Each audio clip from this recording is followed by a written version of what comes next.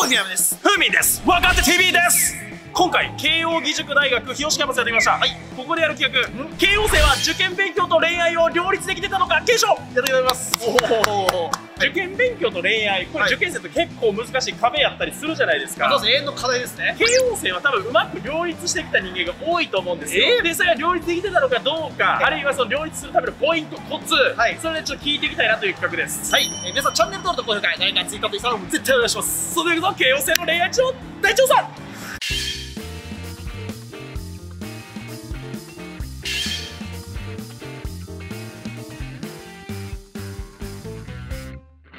分かって TV じゃあ慶応生2人組見つけました、はい、えっと、今回なんですけど、はい、慶応生は受験勉強と恋愛を両立できてたのかっていう調査をしてるんですけど、はい、受験生の時彼女がいました？いやいなかったです。ああそうですね。わかりました。そうですね。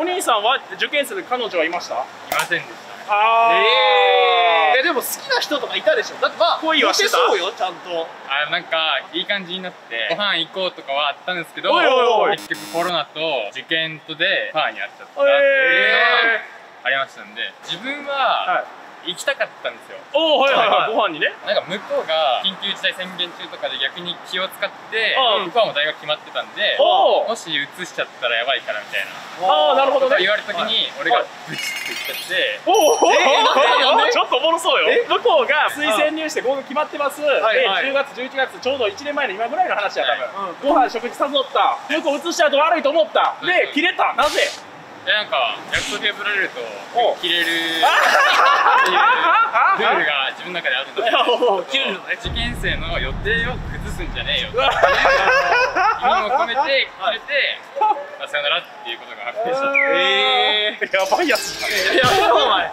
人格になありで恋愛で両立できないです。やめろお前。受験生の時ピリピリしますからね必要以上に。今は丸くなったでしょさすがに。あまあ今も約束破られたら切れます政治家とかにめっちゃ切れてそうやな。公約守らんからね。自民党とかも。えっと慶応生3人組見つけました、はい、受験生で彼女いたのは？あ君か。おお兄さんぶっちゃけ両立はできてましたか？まあできてました。おお何で付き合ったんですか？同じ高校のクラス恋愛スタートし始めたの何月頃ですか？1年の早いな。高1夏、おお早い早い。高1の夏からいつまで付き合った今も。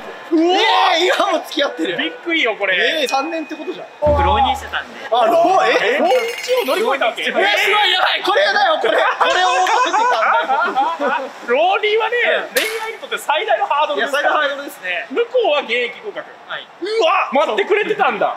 そうですずっと待って。えなんこれ？浪人期間中はどんな感じだったの恋愛は？あんまり会わずに LINE とか電話で応援してくれてるえー、ちょっといいよねいい彼女はね。えちなみに彼女は大学とか言っても大丈夫？僕出身が福岡で。福岡の方の大学えー、じゃあ今も遠距離です。えー、ちょっと。などう？え何このなんかピュアな感じ ちょっとおじさんにはなんか結構 キュンキュンくるんだけど。彼女浮気しててほしいな。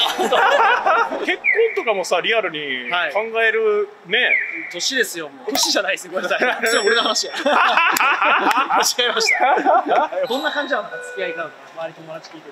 インスタとかではいはいはい。可愛すぎるみたいなえ？4年なのにもめっちゃ出るで。え？ー、ちょっと待って。なになになになに？全部彼女の一人の写真な。んですよ20個ぐらいえ？ー、ちょっとちょっと見せてもらおうか。見せないから俺だけだけ。こんなこんな感じです。あちゃちゃちゃちゃ。この子可愛すぎませんか？俺から見たら中の上って感じやけど。お前からしたら上の上だよ。そう。浪人生でね恋愛中の子とかいると思うのよ。アドバイスというか浪人を乗り越える方法？はとにかくポジティブな話しかしないおお、えー、これ結構大事よ。浪人生でやっぱ気分がねこう大体ナーバスになってくから、はい、暗い話多めになっちゃって彼女も嫌な気持ちになると。別れた方が頑張れるんじゃないかっていうのは一番禁句だと。おおなるほど。彼女のせいにすんなと。はあ男やな。えっと慶応生3人組見つけました。はい、はい、この中で大学受験の時に恋愛してた人いますか恋愛そうですね。おおお兄さんは？彼女がいた。彼女ではないんです。はいはいはい。お互い気持ちは分かってるけど言わないみたいな。勘違いかもしれない。なんで付き合わなかったんですか？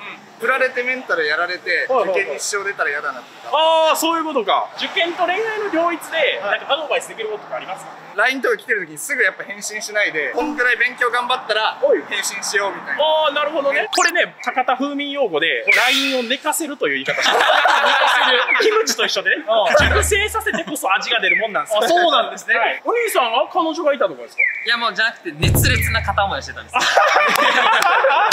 相手はどんな人ですか？同じ予備校に通ってた子であ志望校も一緒だったんですよ。おお二人でこう毎日頑張ってはいはいはい。教え合いながら。押し合いだからめっちゃいいやん。それどうなったらその向こうのこう気持ちは？ご飯誘って断られました。え？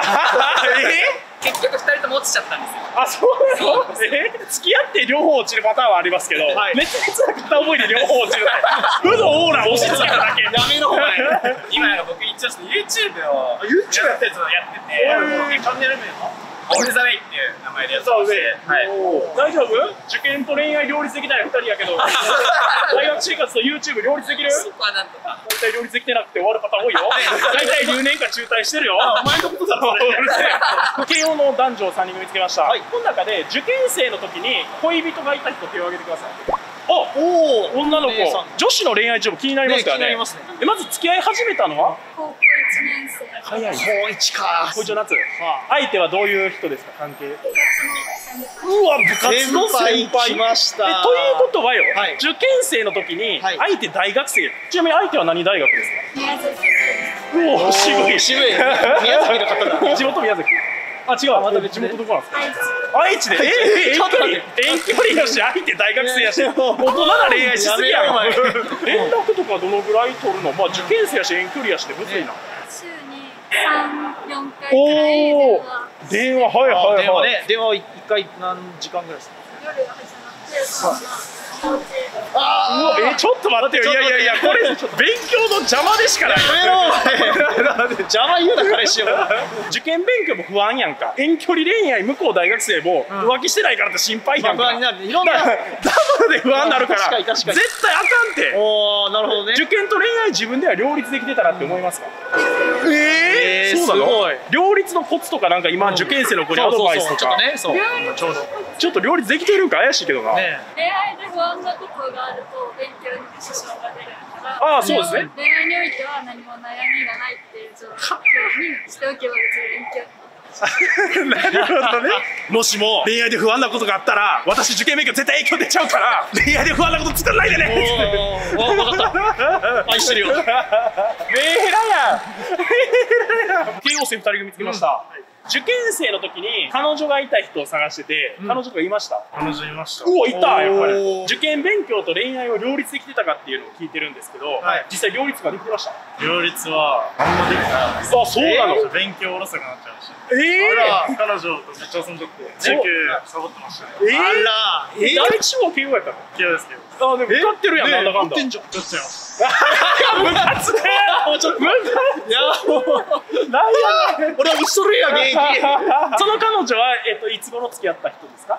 高3の8月です。えー、ちょっと待って、いやいや高3の8月に新規で付き合った？ねえ。何の人なの？その人。はクラスとか。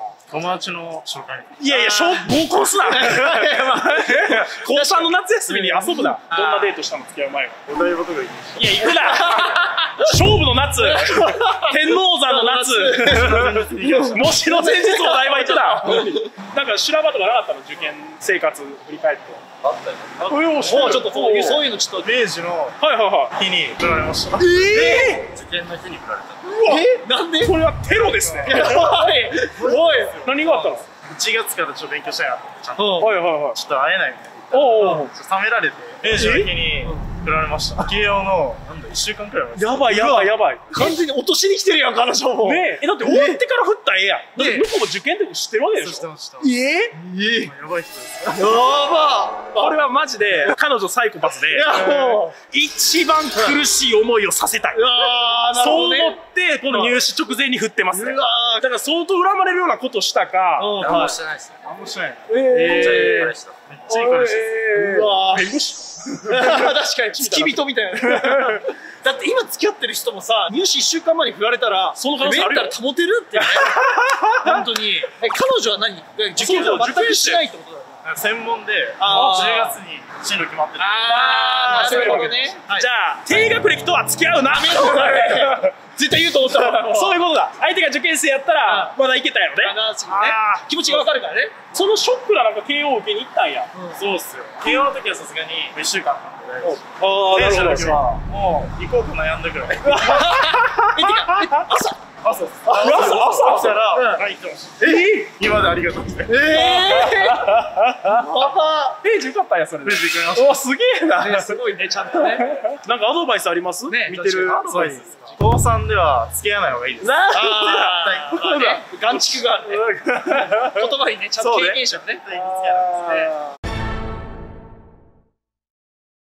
というわけで、えー、慶応生の受験勉強と恋愛両立できてるか検証を聞いていきました。はい。まあ人それぞれですね。はい両立できてるかどうかは。慶応受かってるんで、まあ、両立はできてる人もいましたが、はいただあの落とし穴があったりね、ああ、そうですね。はい、いろんなエピソード聞きましたね。はいまあ、この動画でね恋愛と受験勉強両立のコツなんかも高校生のみんなに伝えられたんじゃないかなと思うんで、まあ、恋愛気をつけなきゃいけないことと、まあちょっとねもう昔から付き合ってるんやったらそのままね気をつけながら付き合うっていうのもありかなっていうふうに思いましたねまあ、あの無理せずね、恋愛しないで勉強頑張るって手もあるんで、皆さん頑張ってください。チャンネル登録、高評価、大学ツイッターとインスタの方絶対お願いします。じゃあ今日この辺で、バイ。